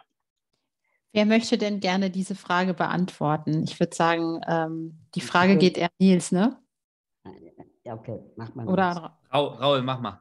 Oder also, du, genau. Äh, ähm, ich habe ich hab immer schnell, ähm, sagen wir mal, Alarmglocken an bei mir, wenn wir anfangen, irgendwas ähm, zu entwickeln für die Behinderten in Anführungsstrichen. Also eine ähm, ne, ne Bekannte von mir, ähm, die hat eine Ausbildung zur Informat Informatikkauffrau gemacht und ähm, sie hat lange damit gehadert, ob sie das machen soll, weil in der Ausbildungsbeschreibung stand drin, dass man körperlich fit sein soll weil man äh, viel Computer von A nach B tragen müsse.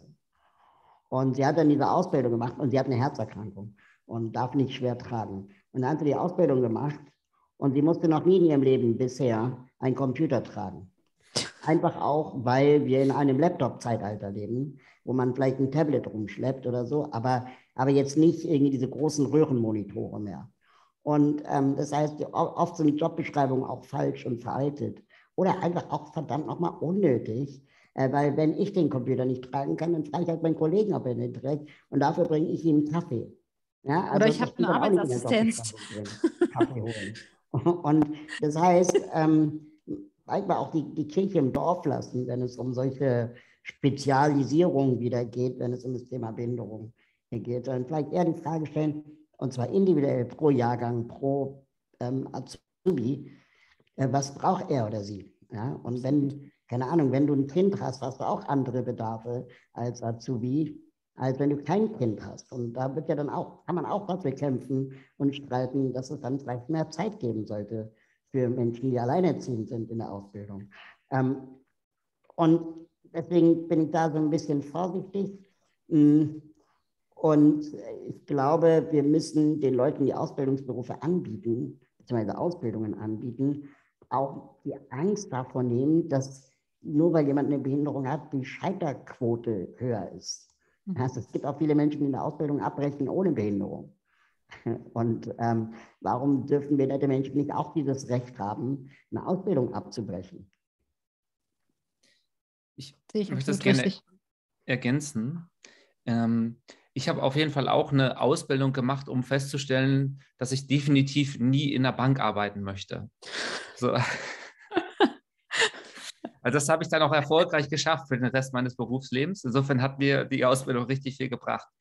Ähm, ich glaube, dass, also was wir jetzt gerade bei uns versuchen, weil wir haben tatsächlich so ein paar absurde Geschichten in unserem Projekt bisher erfahren. Und zwar, äh, wir kriegen das, dieses schwarze Loch, von dem Raul ganz am Anfang sprach. Wir haben viel zu, die Unternehmen haben viel zu wenig Bewerbungen bekommen bisher auf ihre Stellen. Wenn sich ein Mensch beworben hat, ist er mit 50 Prozent Wahrscheinlichkeit zum Vorstellungsgespräch eingeladen worden. Und wenn sich die Person, äh, äh wenn die im Vorstellungsgespräch war, ist sie mit 50 Prozent Wahrscheinlichkeit eingestellt worden. So, also was krasse Werte sind, was aber zeigt, wie sehr sich die Unternehmen auf die Bewerber einstellen können. Und ich glaube, wir brauchen ein anderes Verständnis auch davon, was eigentlich Talente sind und Fähigkeiten und nicht nur unsere Beruf, klassischen Berufsausbildungen. Die sind schön und gut. Ja, das duale Ausbildungssystem ist ja ein Exportschlager in Deutschland. Mhm. Aber es geht ja auch ähm, darum, was, was kann ich und was, was, was, worauf habe ich, woran habe ich Freude und wie ist auch meine Persönlichkeitsstruktur. So. Und, und wir versuchen jetzt gerade für uns so eine Art Talentpool aufzubauen, um, um mehr diesen Fragen äh, Aufmerksamkeit zu widmen, ob eine Person vom, Sie sagen wir, Mindset, für das deutsche Wort, äh, vom, von der Einstellung und von, von den Werten her, Werte ist wahrscheinlich das beste, der beste Begriff, halt zu einer Organisation passt. Und dann sagen wir, schauen wir mal, probieren wir es mal aus mit einer Probebeschäftigung, mit einem Praktikum und und manchmal findet man dann eben zueinander und manchmal auch nicht. Das ist halt das Leben. Also ich, äh, ich, ich muss auch viele Dinge ausprobieren, um rauszufinden, was das ist, was ich gut kann. So, und das bereichert einen natürlich auch. Und äh, das ist, glaube ich, das, wo wir alle ein bisschen entspannter sein äh, dürfen als, als Eltern und auch als Arbeitgeber, dass man halt sagt, das ist, das ist jetzt ein Versuch wert, das lohnt sich, das auszuprobieren. Und wenn es halt nicht klappt, dann ist, geht aber auch nicht die Welt unter. So, und das ist, glaube ich, nochmal ganz wichtig, dass, da sehr pragmatisch mit, mit zu sein und nicht zu, nicht zu überschätzen, was die Auswirkungen und Konsequenzen von, von dem Handeln sind. Man kann das wieder korrigieren. So, es gibt so viele Möglichkeiten. Ich denke, da, da würde die Frage eigentlich ganz gut beantworten. Ich hoffe zumindest. Dorothee, dann mach mal ja. weiter. Was gibt's Schönes? Ja, jetzt will ich gar nicht weitermachen, äh, sondern äh, will Frau Labrouillet ähm, äh, gerne ähm, äh, mit auf die Bühne bitten, möchte sie aber Frau Labrouillet bitten, Sie haben mehrere Fragen gestellt, ähm, äh, dass Sie sich bitte auf eine konzentrieren, die Ihnen jetzt die wichtigste ist und ähm, bitte die auch äh, kurz und knapp formulieren, weil wir haben wirklich so viele Fragen und ich möchte jetzt ungern noch mehr Enttäuschung generieren, sozusagen, als wahrscheinlich eh schon da ist, weil wir nicht alles schaffen werden. Mhm. Ja, ich will mich ganz knapp halten. Ich finde, ähm, ich würde mich gern auf das beziehen, was Nils Dreier gesagt hat. Ich finde, also Nils, du spiegelst ähm, sehr deutlich, dass du dir die Welt der Unternehmen anguckst und überlegst, was ist da möglich und individuell auch möglich ist. Und wenn ich mir dann so angucke, ähm, die anderen sage ich mal, Hemmnisse, die halt aus betroffenen Sicht, ich sage das jetzt mal einfach so ganz äh, schwarz-weiß, äh, dann halt nicht möglich ist, zeigt das einfach, dass du gerade anfängst, eine Welt zu öffnen. Und ich glaube, ähm, Menschen mit Behinderung, die das bisher noch nicht erfahren haben und Unternehmen, die es nicht erfahren haben, für die sind solche Mittler unheimlich wichtig, um, um ich sag mal, Systeme halt zu verändern. Und was ist die Frage? Die Frage ist, ähm, wie bringt man das zusammen? Wie bringt man zusammen das, was Nils Dreier jetzt wirklich in, in Berlin und in Bremen macht und ähm, die Erfahrungen, die er macht mit dem, was sich halt viele Menschen mit Behinderungen in, in der Bundesrepublik wünschen, nämlich den, den Zugang auf den allgemeinen Arbeitsmarkt. Raul, vielleicht du? Ich habe hab die Frage auch nicht ganz verstanden. Galt sie jetzt dem, dem, dem Nils? Nee, ich glaube, die, die, galt, die galt allgemein. Ich glaube, sie will mhm. wissen, wie, wie, wie, wie ähm, das, diese Öffnung für, für Unternehmen zusammengebracht werden soll mit den Hemmnissen von Behinderung, Menschen mit Behinderung, die an sich schon komische Erfahrungen gemacht haben. Also ich glaube ganz klar, wir brauchen ähm, Vorbilder. Das, das, stimmt schon. Ähm, aber Vorbilder alleine reichen nicht. Wir brauchen auch ähm, garantiert eine bessere Ausbildung des Personals in Berufsinformationszentren. Ähm, das ist wirklich immer noch äh, äh, ja, haaresträubend, was da teilweise empfohlen und, und, und geraten wird. Und dann brauchen wir sicherlich auch Sachen, die ähm, äh, in Schulen gezeigt werden. Also dass wenn wir Schulbücher ähm, aufschlagen, auch Menschen mit Behinderung da drin auftauchen, äh, in Berufen zum Beispiel. Ich habe neulich ein äh, Camden Market Englisch-Lernbuch äh, gesehen, wo es einen Feuerwehrmann im Rollstuhl gab. Und ich habe ganz viele Fragen. Ja, aber trotzdem gibt, ist er erstmal da. Also ich habe die Frage, wie läuft jemand im Rollstuhl Feuer? Aber witzigerweise muss man auch nicht äh, bei der Feuerwehr immer Feuer löschen. Es gibt auch noch andere Tätigkeiten, die man bei der Feuerwehr machen kann. Und ähm, die, äh, ähm, diese, diesen Möglichkeitsraum aufzuzeigen, der ist total wichtig. Und ich würde gerne eine Mini-Mini-Geschichte erzählen, die ich persönlich erlebt habe, als ich zu Besuch in der Förderschule war. Ähm, da habe ich die, die, die, SchülerInnen gefragt, was wollen Sie mal machen, wenn Sie mit der Schule fertig sind? Ähm, und die Lehrerin war gerade nicht im Raum. Das war wichtig für mich. Ähm, und, hab, und dann hat sich eine Schülerin gemeldet und die hat gesagt, sie möchte Dressurreiterin werden. Mit 14 Jahren war das ihre Vorstellung. Ich habe keine Ahnung von Dressurreiten, aber ich hielt es irgendwie für 14 für einen ziemlich definitiven Wunsch. Ja, also mit, mit 14 habe ich noch Lego gespielt. Aber sie wollte definitiv Dressurreiterin werden. Und ähm, dann wollte ich sie gerade darin bestätigen. Und dann sagte sie, aber das geht ja eh nicht. Dann habe ich sie gefragt, warum denn nicht? Und dann meinte sie, ja, wegen meines Rückens. Sagen die Lehrer, die Eltern und die Ärzte. Und ich bin kein Pädagoge und kenne mich nicht mit Dressurreiten aus, aber das fühlte sich irgendwie falsch an.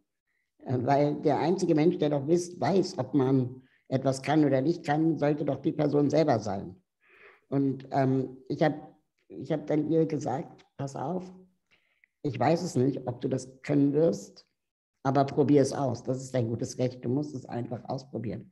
Und wenn du merkst, das geht nicht wegen deines Rückens, dann empfehle ich dir, mach auf jeden Fall was mit Pferden. Aber werd nicht irgendwie Bürokauffrau, weil die anderen das sagen. Du kannst ja deinen dein Traum trotzdem nahe kommen. Und wie viele Kinder wollen Astronautin werden? Ähm, und wie viele sind es am Ende geworden? Ja, also die, die es mit 18 noch werden wollen, die machen irgendwas mit Luft- und Raumfahrt. Aber sind trotzdem nicht alle Astronautinnen geworden. Und ich glaube, es ist so wichtig, dass wir den Leuten zeigen, ja, du musst vielleicht nicht alles können, aber lebe deinen Traum so, so gut es geht. Vage zu träumen. Also das ist halt genau das, was ich meine. Ich habe das Gefühl, manche Menschen mit Behinderungen, und ich will das nicht verallgemeinern, aber äh, vor lauter, dass ihnen so oft aufgezeigt wird, was sie angeblich alles nicht können, wagen nicht mehr zu träumen, wagen nicht mehr sich irgendwie was auszumalen und zu gucken, ob es überhaupt funktioniert und es vor allem mal auszuprobieren. Da gebe ich dir absolut recht. Amy, darf ich mich mal gerade da reinmuddeln in die, ähm, in die Diskussion an der Stelle? Ja. Ähm, also ich mache ähm, sehr, sehr häufig ähnliche Erfahrungen mit, ähm, mit ähm, Gruppen von Kindern und Jugendlichen aus Förderschulen. Und wenn man fragt, ähm, was habt ihr vor mit eurem Leben, und die Kinder gerade irgendwie aus sich rauskommen, dann wird häufig von Erwachsenen gesagt, das schaffst du doch aber nicht. Na? Und so ein Standardsatz ist immer, also acht Stunden arbeiten, das musst du einfach nicht schaffen, ja, so, weil wegen Rücken oder weiß der Geier was so, ne? Und meine Erfahrung ist häufig, dass diese ähm, Kinder gar nicht so abgespacede Vorstellungen von ihrer Zukunft haben, sondern häufig ganz Durchschnittliches möchten. Also im Handwerk arbeiten, Erzieherin werden, in der Pflege arbeiten oder so, wo man sozusagen ohne länger drüber nachzudenken sagen muss, ja, da wird sich schon was machen lassen, wenn wir mal dran arbeiten. Aber es gibt eben in diesen Strukturen, die wir kennen, häufig diese passende Haltung dazu nicht. Die Kinder werden eben nicht empowered, sondern es wird häufig von Anfang an gesagt, was alles nicht geht, anstatt sozusagen darauf zu setzen, was geht. Und Emilie, hattest du am, am Anfang ja auch schon gesagt, dass unser gesamtes System, die Eingliederungshilfe und so weiter, und das bezieht sich nicht nur auf den Arbeitsbereich, ja häufig was die Beantragung von Leistungen angeht und so weiter, immer darauf setzt, dass wir uns kleiner machen, als wir sind, dass wir behinderter sind, als wir eigentlich sind, damit wir das bekommen, was wir brauchen, um sozusagen unseren ähm, Alltag äh, zu bestehen. Und das, finde ich, ist eine ganz grundsätzlich hochproblematische Frage. Und das Zweite, jetzt nochmal ganz äh, spezifisch äh, zum, zum Arbeitsmarkt, was ich feststelle, ist, ähm, also es gibt, wie gesagt, ganz viele Instrumente, auf die man zurückgreifen kann, um inklusive Arbeit zu realisieren. Dazu gehört zum Beispiel das persönliche Budget, das Budget für Arbeit und vieles andere mehr.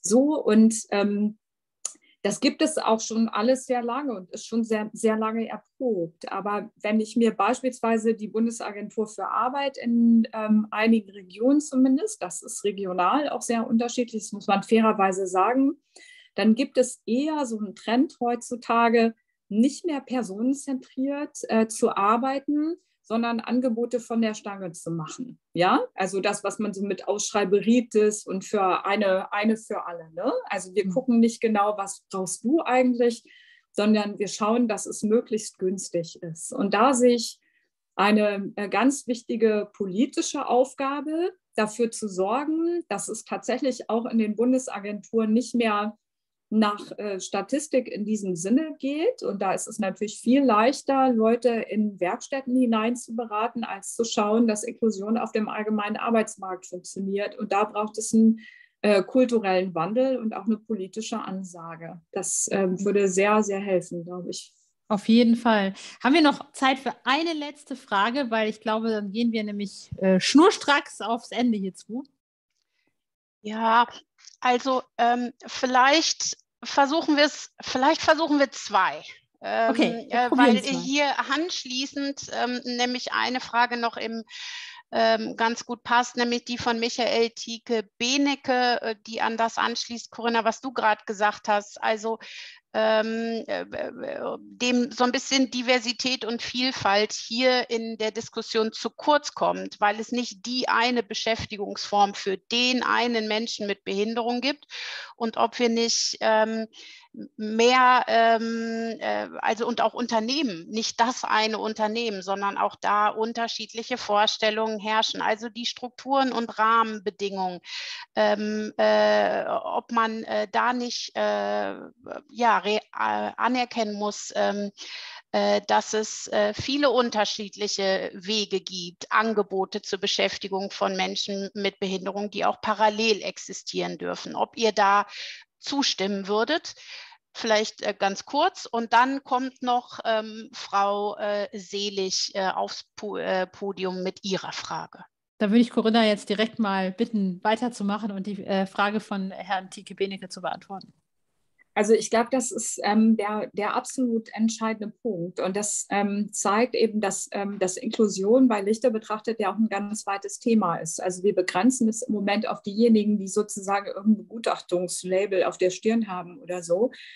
Aber ich sage mal, ganz viele, die wir als Kunden in Jobcentern bezeichnen oder so, die bräuchten eigentlich genau das, eine individuelle, personenzentrierte Begleitung. Dafür gibt es, wie gesagt, ähm, die Instrumente ähm, im, im Bereich der, der Einbürgerungshilfe. Wir müssen sie anwenden und es geht darum herauszufinden mit den Leuten selber, weil wo Raul ja absolut recht hat, ist, dass wir eben nicht so paternalistisch sagen dürfen, was wir meinen, was du brauchst oder so, sondern der Mensch muss halt selber entscheiden können, wohin er möchte mit seinem Leben. Und dieser Staat in Anführungszeichen ist dann gehalten, eben diesen Weg zu unterstützen. Und ich glaube, das ist dann in der Tat ähm, auch zum Wohle ähm, aller, wenn man es ähm, ein Stück weit ganzheitlich ähm, betrachtet.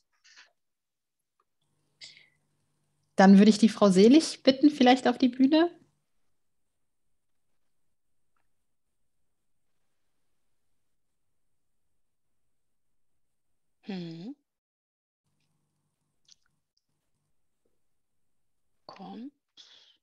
Da kommt sie.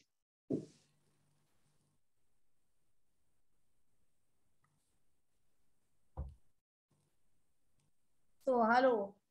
Traudi Selig, Inklusionsbeauftragte Stadt Ludwigsburg. Ich ähm, habe Fragen an die Politik zur Ausgleichsabgabe. Und ich wage zu ähm, kritisieren, dass die an sich systemisch schon ähm, nicht funktioniert. Wenn ich allein unsere Verwaltung nehme, wir haben 1800 Mitarbeitende, davon sind 150 schwerbehindert. Das heißt, wir erfüllen die Quote mehr als mit 7 Prozent. Eine Handvoll davon ähm, sind Menschen mit Behinderung, die sich auf eine Stelle beworben haben und für die dann der Arbeitsplatz entsprechend eingerichtet wurde, mit Sehbehinderung, Hörbehinderung oder im Rollstuhl. Nicht ein einziger Arbeitsplatz bei der Stadt Ludwigsburg wurde extra geschaffen, beziehungsweise ähm, wurde so kon konfiguriert, dass man diesen Arbeitsplatz entsprechend als inklusiven Arbeitsplatz ausschreiben kann.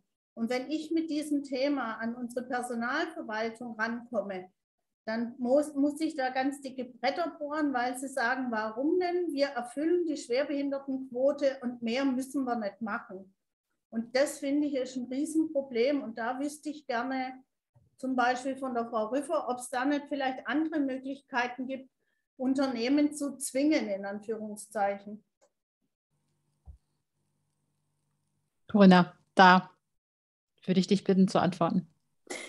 Also da zeigt sich wieder, dass, ähm, also je nachdem, in welches Feld man guckt, äh, die Situation halt ganz unterschiedlich ist. Ne? Also im öffentlichen Dienst ist es so, ähm, dass ähm, das Thema Beschäftigungsquote eben kein Thema ist, weil wir da ähm, eine demografische Ent Entwicklung haben, die quasi automatisch dafür sorgt, dass man äh, dadurch, dass Leute chronische Erkrankungen haben etc., die Beschäftigungsquote automatisch erfüllt. Wenn man gerade in den Bereich kleiner und mittlerer Unternehmen äh, schaut, dann, das hat ja am Anfang gesagt, ne, dann haben wir ähm, da sozusagen die wesentliche Ursache dafür, dass wir 25 Prozent beschäftigungspflichtige Unternehmen haben, die niemanden beschäftigen mit, ähm, mit Behinderung. Ne? Also es ist ganz, ganz unterschiedlich. Aber was ich finde, gerade mit Blick auf die öffentlichen äh, Verwaltungen, es gibt ja viele Städte, die sogenannte Inklusionskonzepte auf den Weg äh, gebracht haben, die sozusagen sich eigentlich die unterschiedlichen Bereiche angeschaut haben.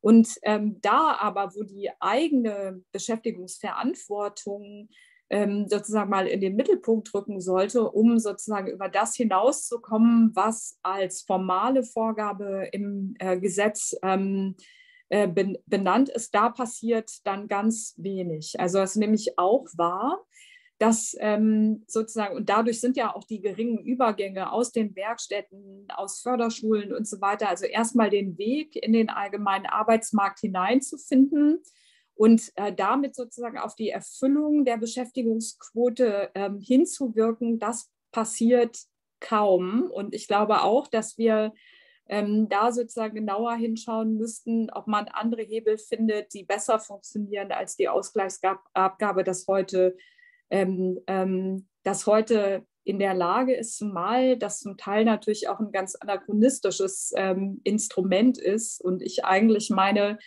dass man das, was aus der Ausgleichsabgabe wesentlich finanziert wird, also nämlich Inklusion über Exklusion zu finanzieren, sowieso höchst fragwürdig ist. Ne? Also da müsste man sozusagen eigentlich zu einer steuerfinanzierten Lösung kommen. Also ich finde auch, dass man sich die Ausgleichsabgabe nochmal sehr genau anschauen muss, und zwar in verschiedener Hinsicht. Vielen Dank. Also das sehe ich sehr, sehr ähnlich, muss ich sagen. Ich war nie so ein, ich war immer ein bisschen zwiegespalten zur Ausgleichsabgabe, vor allem ähm, wenn ich die Konzepte in, in Amerika, England oder Schweden mir begucke und äh, wo es halt auch ohne sehr gut funktioniert und teilweise genauso gut oder besser als in Deutschland, wo ich dann denke, vielleicht kann man das, vielleicht ist sie gar nicht mehr so zeitgemäß, so wie sie jetzt ist. Haben wir noch Zeit für eine ganz kurze Frage, die, glaube ich, kurz zu beantworten ist, damit wir noch eine Frage wenigstens schaffen? Okay, dann schießt. Also ich habe Zeit. Wenn die nur, nur, nur die Frage von Katrin Wahlen vielleicht noch, ähm, ob es aus eurer Sicht äh, irgendeine Gefahr einer Negativentwicklung gibt, wenn Menschen in den Werkstätten einen Mindestlohn bezahlt bekämen. Ja, aber Raul, hat, Raul wollte zuerst was sagen, aber es gibt etwas, was man bedenken muss aus meiner Sicht. Dann erst Raul, dann du? Ähm, also ich glaube, ich meine eine andere, als die Corinna meint. Da ergänzt wird vielleicht super. Aber ich äh, sehe die Gefahr, dass wenn wir sagen, Mindestlohn äh, für Menschen in den Werkstätten, dann schließen wir vielleicht auch mehr aus. Also Menschen könnten noch mehr als den Mindestlohn verdienen dürfen und nicht alle Mindestlohn, weil dann haben wir die, die Latte einfach nur ein bisschen verschoben. Aber ich glaube, Corinna meint noch was anderes. Also ähm, das, äh, das meine ich auch. Also wir, ähm, wir haben in, in unserem Wahlprogramm damals gefordert, tatsächlich dahin zu kommen, Werkstätten zu Inklusionsunternehmen weiterzuentwickeln und da sozusagen mindestens den Mindestlohn anzusetzen, also und damit keine Deckelung zu schaffen. Das ist also schon ein Punkt, den ich auch sehe. Aber je nachdem, welches Modell man hier wählen würde, bin ich der Meinung, müssen wir sehr, sehr gut darauf achten, dass wir nicht durch die Einführung eines Mindestlohns dieses exkludierende System der Werkstätten noch weiter stabilisieren. Ja, deswegen glaube ich, kommt es sehr darauf an, wie wir, äh, wie wir damit umgehen. Also das, worüber wir reden, so der gerechte Lohn und der muss mindestens auf Mindestlohnhöhe äh, ausfinanziert sein. Das ist auch meine Meinung, darf aber nicht dazu führen, dass sozusagen weitere Hemmnisse in Richtung allgemeiner Arbeitsmarkt aufgebaut werden. Und die Gefahr sehe ich durchaus. Dann würde ich sagen, ich fasse kurz zusammen. Ich glaube, wir haben noch einen sehr weiten Weg vor uns in Deutschland, aber ich denke, dass wir ihn zumindest angefangen haben zu gehen. Und ich freue mich, dass es so viele Menschen gibt wie Corinna Rüffer, wie Raul Krauthausen, wie Nils Dreier, die daran arbeiten, es äh, besser zu machen. Ähm, ich denke, Steine gibt es genug, aber es ist schön zu wissen, dass es eine Initiative nach vorne gibt. In diesem Sinne ähm, will ich mich ganz herzlich bei den drei Gästen bedanken.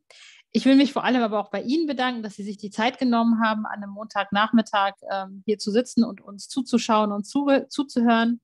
Und ich will mich zu guter Letzt natürlich auch bei Tim Netzere und äh, Dorothee Schulte-Bastard und unser Technikteam bedanken, die es mir als Moderatorin echt erleichtert haben und mein Leben etwas vereinfacht haben heute. Und würde sagen, ich verabschiede mich und wünsche Ihnen allen noch einen wunderschönen Nachmittag. Tschüss.